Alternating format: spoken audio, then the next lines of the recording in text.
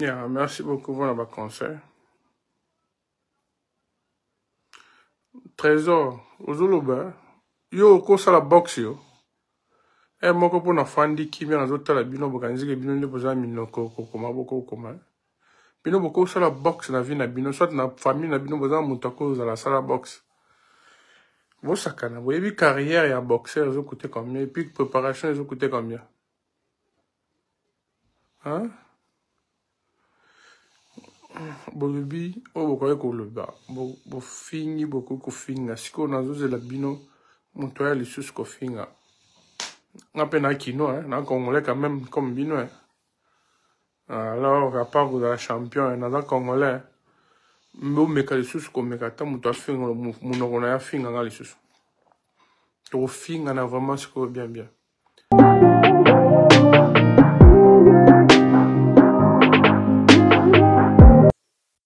moto nyonso na vie alingaka reconnaissance moto nyonso na vie alingaka ba reconnaître mosala na ye kasi place nini reconnaissance tozoluka ememaka mikakatano na baproje na biso na mosala na biso na ambisio na biso ya kozwa ya kobonga ya kokende liboso ya koatteindre vision na biso tolanda video oyo comme ça tokabola mayele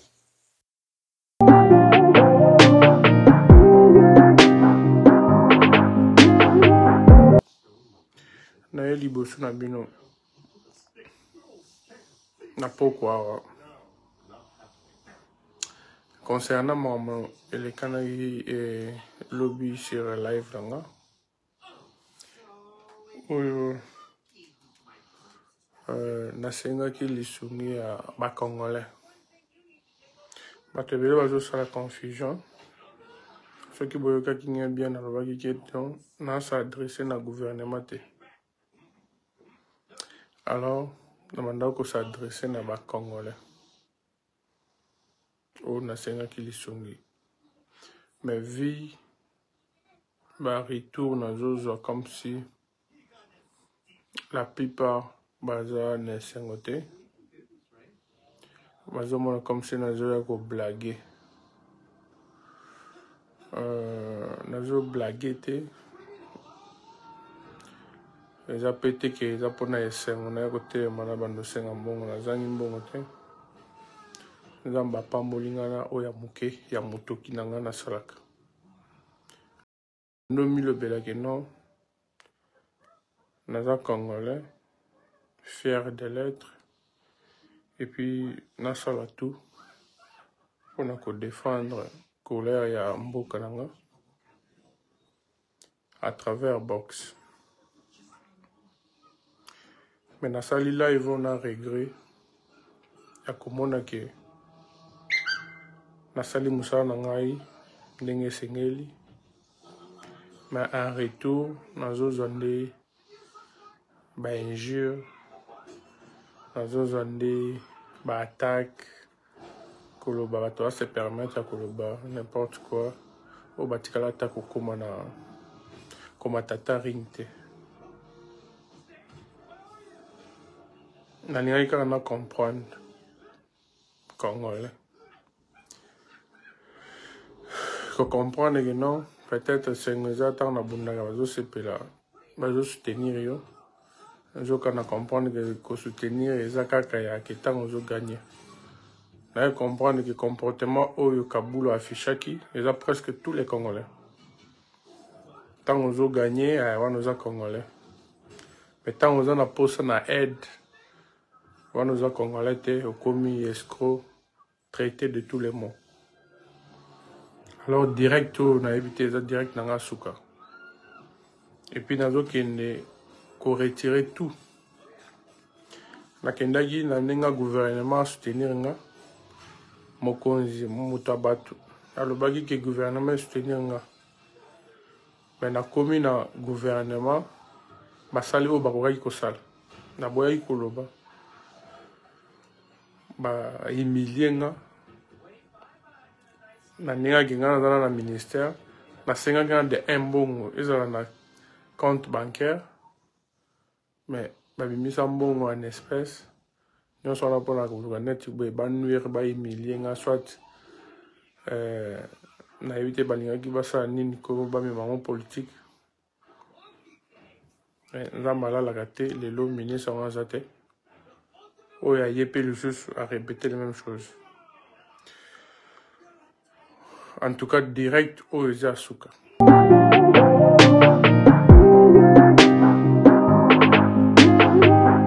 Na kati ya video bozolanda mwana mboka Martin Bakole. Congolais oyo ya liboso abeta Tony Oka KO congolais oyo ya liboso na etali box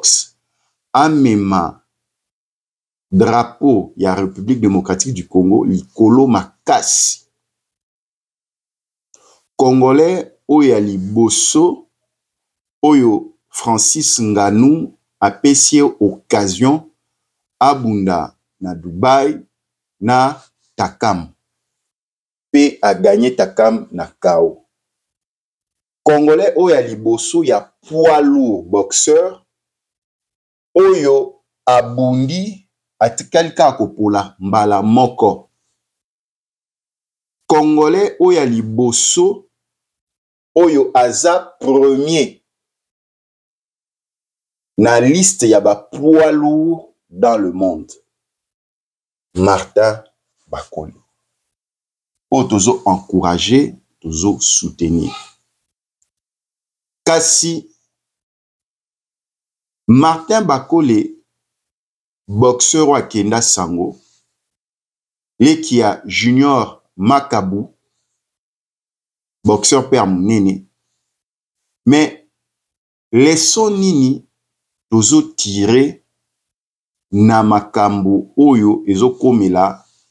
ndeko na biso ya congolais martin bakole martin bakole mpo na abunda ekomi na niveau moko asengaki 100 000 dollars gouvernement est mobilisé 100 000 dollars tomonaki na image euh, ndeko na biso ya journaliste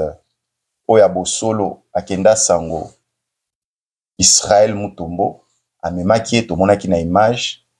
azwi 100 000 dollars elobisaki bato mingi bato balobi lobi lobi lobi baoyo basepeli baoyo basepeli te epesaki polemique na congo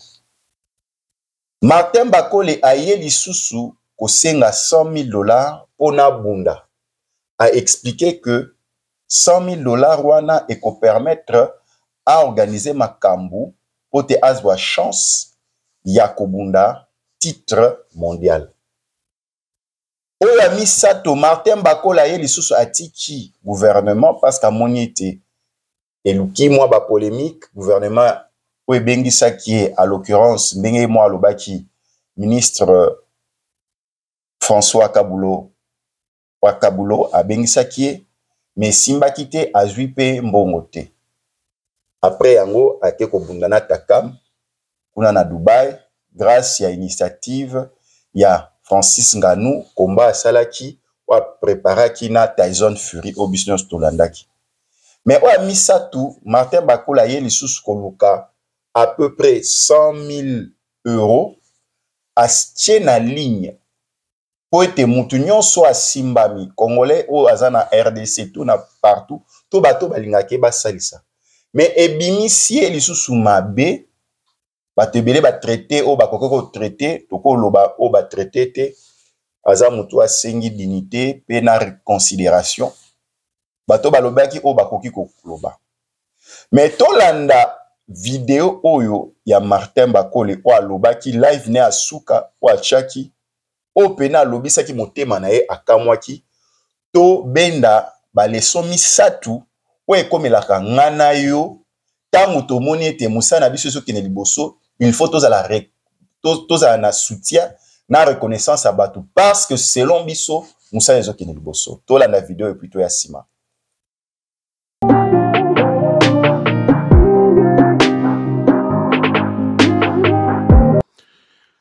je m'excuse nde nayaki kosenga bino lisungi nakanisaki boza bandeko bocomprendre place naza na perdaki place hey, chance ya liboso ya kobundela titre mondial occasion epesamelaki nga mais à cause ya ministre ya sport nabundelaki yango te lelo nazozwa deuxième chance classé première Nazwi chance na mito nazozela confirmation ya lettre ya confirmation ke naza vraiment lisusu na eloko eko bloke nga te ke nabundela titre mondial naye envers bino kosenga bino lisungi yake nabanda deja préparation peut-être bomona bajeu baolobaki o na geraka mbongo koma nyonso wana ba comprendre bino mpo botikala kosala box te la plupart et puis botikala kokoma place naza te boyebi te combien ça coûte et puis bomona neti na liboma na ye natelemi kaka devant caméra soit na bando osala live ya kosenga lisungi nazokende koefasango sikoyo naza mwa mobali nakobunda na ndenge na ngai soki bomoni silence natikalaki nango ezalaki na eloko nalingi nabimisa me na se maîtrise nakoki koloba na mosusu nasa kanda te nasa regret te euh, nazokende ko retire biloko nyonso tu avec beaucoup de regret lelo nde nayebi ke non ata nde na matakaring nayebi ke bacongolais baza na defendre mboka na ngai peuple baza nsima na nga na comprendre ke na matakaring na moko nazalaka nga moko lelo bato ozokende kodefendre bazolakisa yo kolinga kolinga yo ya mbebo nde moko na ministre kabulo alors peut-être na se ya motema bazobundisa yo sans le savoir natalaka natala ba commentaire nyonso tu kofinga eza bien eh, bozofinga nani nga namema drapeau ya bino ya mbokongo bofingi ngai botraite ngai ya tout le monde hmm, naye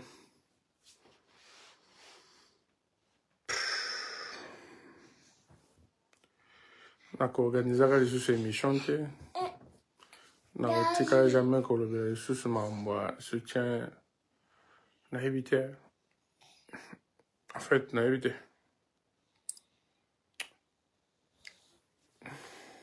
na se réserver kaka mpona président charge apesi nga considération na parole apesa nga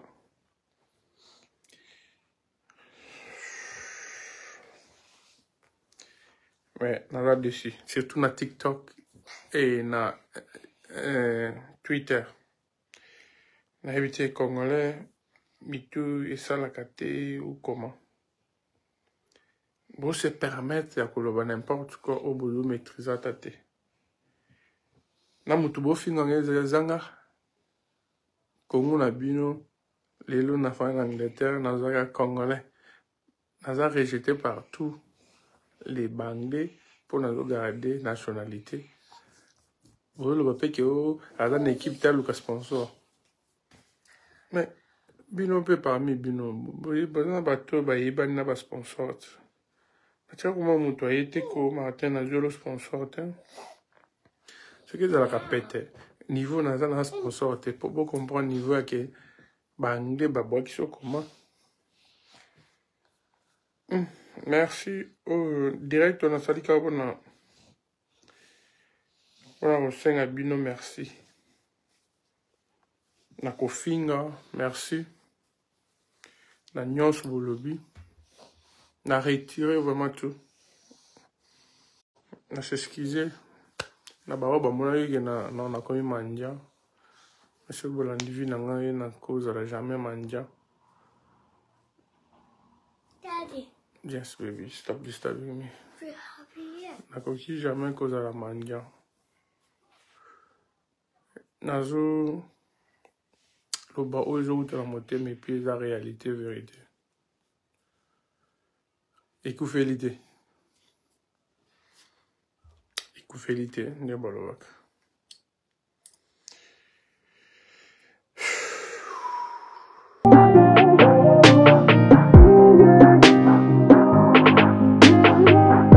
tolandi video esali mpasi ya komona ete champion congolais parmi barare boxeur oyo bazwi chance to grâce ya Nzambe ya kokende musika na musala wana me mingi bazomituna ah, Martin Bakole kasi bitumba abundaka azwaka mbongo to azwaka mbongo te akenda liboso to akendaka te eske baboxeur nyonso ya mokili bakendaka mpe kosenga bambongo epa bagouvernement ya bango mpo babunda eske box eza ndenge mona football oyo oh, lokola par exemple bozolanda lelo leopard rdc ekobeta euh, canne na côte d'ivoire baza na dubai gouvernement etie makoki baza na entraîneur ya français de sabre oyo bazofuta ye baza na bajoueur bakozwa baprime sikoyo box sport individuel mpe ekozwa nini question ekei mpe ezongi mais trois leçons oyo tokokanga na maye nyonso oyo oyo eleki na ndeko na biso mwana mboka martin bakole oyo ekomelaka yo na nga mpo na oyo ekomeli bango te ekokomela tolingi tobeta masolo na lingala mpo te so tolobi toexpose yango na français mingi mpe bakoloba ah papa makambo na biso ya mboka tokoki koloba yango na lingala mpe tobatela ya biso baproblème yango wana congo kinshasa na congo braza na baye oyo nyonso bayebi lingala bakolanda leso misato tokokanga na oyo nyonso ekomeli martin bakole eza nini bandeko na nga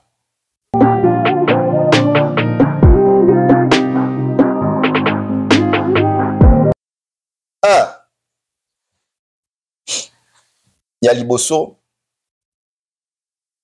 ntango mosala wana ezokende liboso ntango oza na succès olingi ete baprojecteur nyonso ezala na nsima na yo ntango nazalaki journaliste na kinshasa a mpe na états-unis aza mpe journaliste à l'international bolandaka baprogramme na nga elekaka mpe na geopolis chaîne ya wili kalinga na congo na bapartenaire mosusu ntango tozalaki bajournaliste na kinshasa tolingaki ete baprograme nyonso babengisaka biso hôpital tel ebengisi yo otourne émission hôpital tel ebengisi yo otourne émission opportunité tel ya média yo ozwaka mais ntango mpe bamosusu mpe bazoemerge nazalaki mpe na capacité ya kocomprendre bango parce que ngai nautaki na ba ong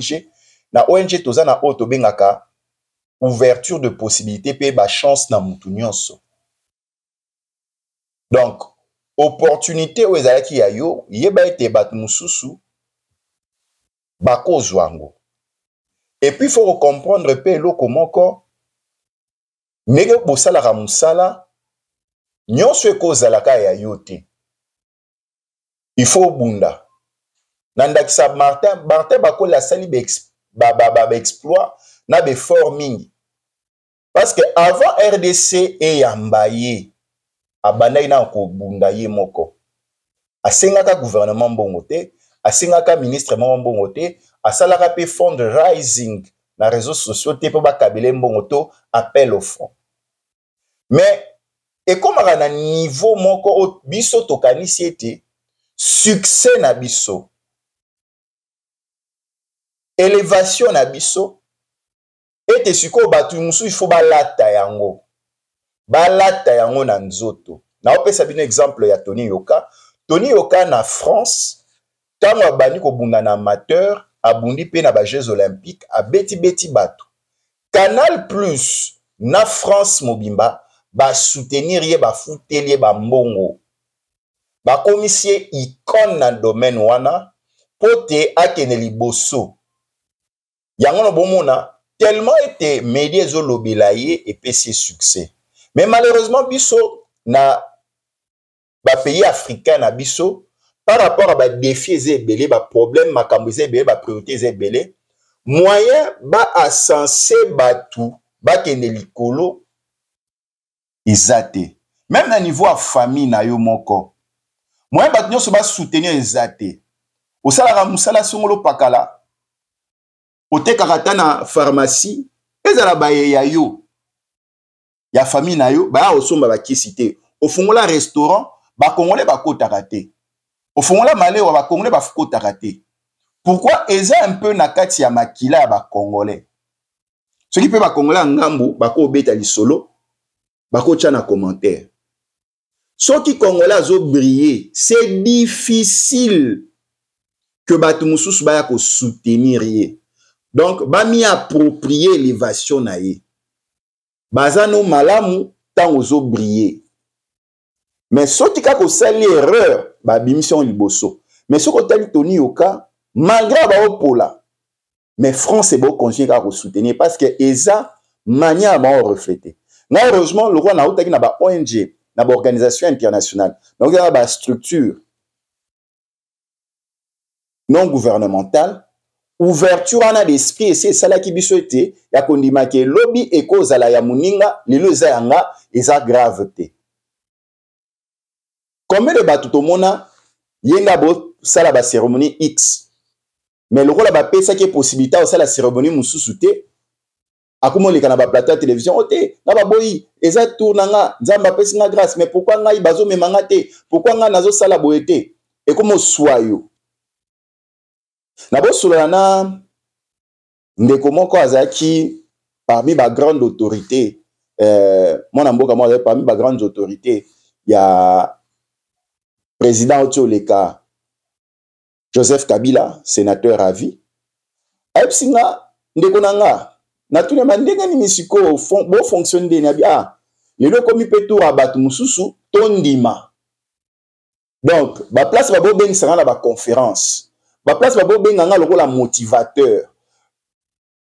baconférence ebele bosalama oyebi ya bahomme d'affaires ya bastructure ebele babengisa ngai lisusu te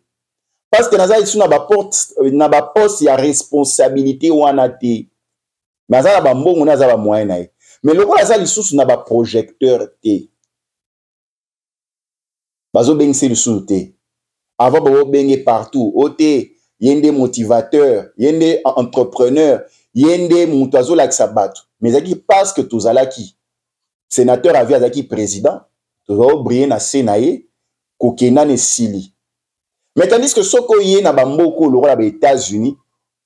barack obama babengaki ye toujours na baconférence baprésident ya kala basénateur oyo bazalaki baministre oyo bazalaki parce que aya mpe baministre mpe bazalaka na enseignement na babengaka bango parce que baza na expérience mais na congo na baafrike wana soki periode eleki bato oyo nde baye sika nde baotya na projecteur yango wana biso nyonso na bamartin bakoli fo tokomprenaka ke un moment donné il faut savoir voler de notre propre zèle toyeba place tozali ye moko martin bakola azobeta lisolo alobi ah na angleterre bazoboya nga parce que naza anglais te me na ye mpe awa epa bandeko na nga bazoboya nga parce que bazosoutenir nga te me yeba ete effort d'abord mpo na ozala na reconnaissance effort efo ozala ya yo epuis ozala presse psychologiquement na motu na yo akoyeba ke lobi soki masolo eza lisusu te soki faveur wana eza lisusu te ezala problème te continue vision na yo parce que ebonga yo ebeba yo tala place ozokende c'est vrai que ntango ozotala bato na bafacebook ozotala bafacebook ozotala na ba, euh, ba youtube na bareseau sociaux ndenge bazocelebre bango mais yo peut-être baaki oyo oza na yango baavantage oyo oza na yango te bato ebele baza célèbre na bareseau sociaux mais soki oki otala bango na ndako na bango baza na mibali te baza na basi te babala te batonga te mais basala eloko te mais yo tala place yo ozali ata oza na projecteur te mais tala biloko osali otonga obala obota oza na bafere ebele ozosala ata bazobetelo maboko te yo moko osi otiki nanu nkombo na yo parce que na baobjectif na osi atteindre oyo olukaki zala toujours positif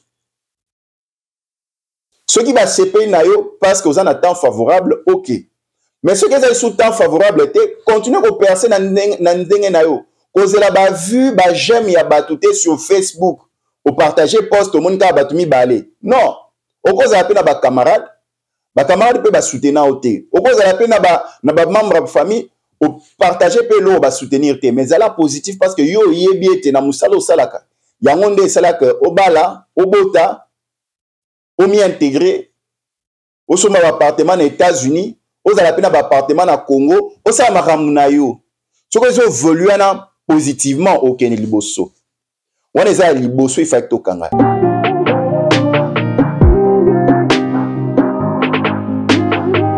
ya mibale eza nini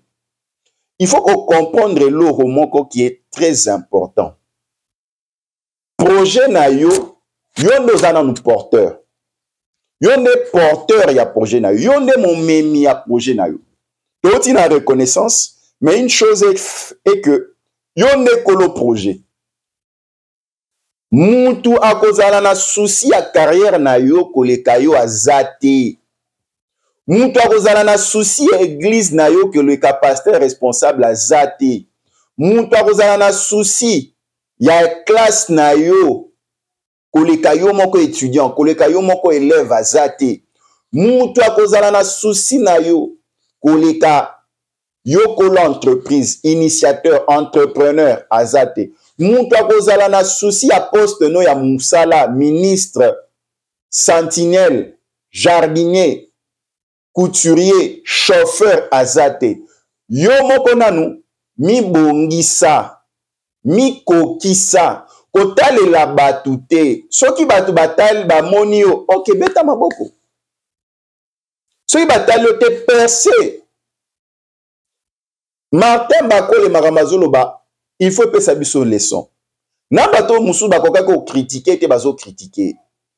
ah est ce que aza mendiant kosenga mbongo mais tala lelo rfi elobi nini première personne ya république démocratique du congo ya kozala na position wana et pourquoi pas peut-être en afrique wana toyebi te botya na commentaire soki na baafricain mosusu oyo abima déjà premier ya poids lourd boyebisa biso parce que tokoyeba nyonso te donc yo moko mi dirige tozwi exemple ya floyd mayweather floyd mayweather tozwi exemple na ye floyd mayweather aza boxeur professionnel américain mais il arrivait que floyd na ndenge aboluka moyen ya vie na ye akomaki kofinanse bakomba ya boxe na ye moko parce que atalaki ete soki ye moko atye mbongo akoganye plus Il est aussi possible que boxeur ye moko azwa mbongo atya na combat financer combat na ye. Parce que na ba combat boxe toza na ba promoteurs, toza na ba sponsors. Eza rare que boxeur ye moko mise en charge mais toza na cas rare ya floyd mayweather bobetaka ba internet boluka bomona ke floyd mayweather parmi les boxeurs ou les sportifs les, les, les plus riches du monde bakontaka ye parmi les sportifs les plus riches les boxeurs les plus riches du monde bakontaka ye parce que na bastratégie na ye ye moko amityelaka mpe mbongo amiproduire donc aproduire mpe na boxeur akoya kobunda na ye mais lobi te kako triche omona pe abeti boxer na kao pe pa komba mosusu esalaki azwa mbongo ebele achaki ariskaki atie mbongo ebele abunda na mak gregor parmi ba poids léger ya mma ufc oyo aza célèbre mpe aza na mbongo ebele babundaki na ekomba mixte floyd awa magrego awa babundi epesaki mbongo martin bakole peut-être erreur wana ezalaki ya kokanisa ete ke congolais ndenge azoloba bato nyonso bacomprendre ye mais wana eza réseau sociaux motu nyonso akocomprendre te parce que ntango bakojuge bakojuge ndenge makambo esalamaka dans le monde mais tandis que bakoyeba te ke bakoyeba te ke yo oza exception ndenge moko mpe ezala na mosala na yo okosacrifie projet te vision na yo te mpo na bato mosusu yango wana il faut porter projet yo moko makambo ebele oyo bato basalaka baentrepreneur basalaka bato ebele basalaka bango moko bamimemaka eglize na yo ozotyela motema na évangéliste yo nde pasteur yo olingi ete evangeliste to bandimi bazala na souci ya eglize ndenge yo moko yo mokambi ozokamba non c'est faux eglize ekokanga luka bamécanisme mosusu mpo na eglize ezala pérenise soki oconscientise bato ke bato basoutenir mpo na eglize epérenise ça va mais soki esimbi te okontinue na système wana te parce que biso entre biso na communauté na biso tozalaka faci ya relache bato donc mimema mokumba na yo soki esimbi tobetelo maboko soki esimbi te a ah, totiki yo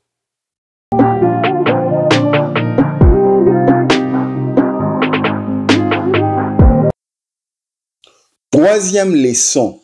troisième leçon oyo tokoki kokanga na message ya martin bakole kolandaka ba decouragement ya bato te 90% na vie ya bato eza decouragement 90% okokoka te ekosimba te oza mwana mwasi mwana mwasi asalaka boye te oza mwana moke okoka kosala boye te oza yo moko okosala boye te otanga te okokoma boye te donc 90 pourcent ya vie ya mutu na communauté na biso ezalaka découragement nanu bayebisa mutu te basoutenir ye mbala moko bakopesa oka exemple ya bato esimba te ah! yo nani yo olingi osala baklasse wana eske oza na mayele ya kosala klasse wana yo nani yo olingi obanda commerce wana eske oza na kapasite ya kosala commerce wana yo nani yo okolinga mwasi wana yo okolinga boye na boye na boye donc tomonaka impossibilité yango wana il faut savoir s'entourer il faut savoir s'entourer koyoka biyokayoka te biloko no nyonso komema ngo na réseau sociaux ta combien de bato baza na succès na bareseau sociaux na communauté na biso na facebook na tiktok na ba whatsapp na, na, ba, na ba groupe whatsapp na ba instagram combien de bato oyo baosala succès na ba réseaux sociaux ya communauté na biso eza kaka na biloko négative soki kofinga te makambo mabe me makambo ya bien oyo moto akoloba eza en considération te combien de bato oyo bazo paraître que non bozobete ye maboko combien bosi bosutena mosala azosala ezalaka rare kaka meme moto oyo bozo célèbre na réseau sociaux ah, abeta kaka libaku kaka moke bozwa ye lokola bozwi martin bakole bopese bakombo nyonso donc toza na environnement na biso moko boye bata congo braza mpe bakokoma soki bazoyoka na oyo bayebaka lingala tolingi koboma baero na biso donc so ozomata isufi kaka okweya moke topesaka conseil te mbala moko tozweli yo virage ebandi mafinga ebangi bamanque de respect bamauvaise parole or oko recadre ah martin bakole ndeni okosenga 100 000 dollars pourquoi ozosenga 100 000 dollars biso totunaka pourquoi te biso toataka nde directement okutani na motu akondi olotuna pourquoi akondi obandi ah yo mpena kokonda eza bien te eh? ah fozala na sante vraiment obandi koatake